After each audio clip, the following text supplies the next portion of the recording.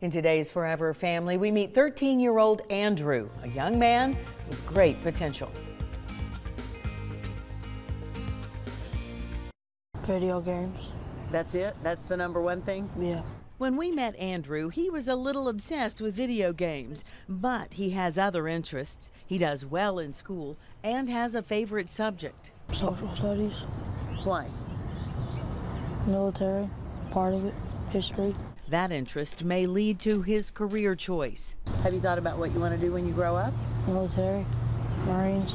Those who know him best say Andrew is shy at first, but will open up when he gets to know you.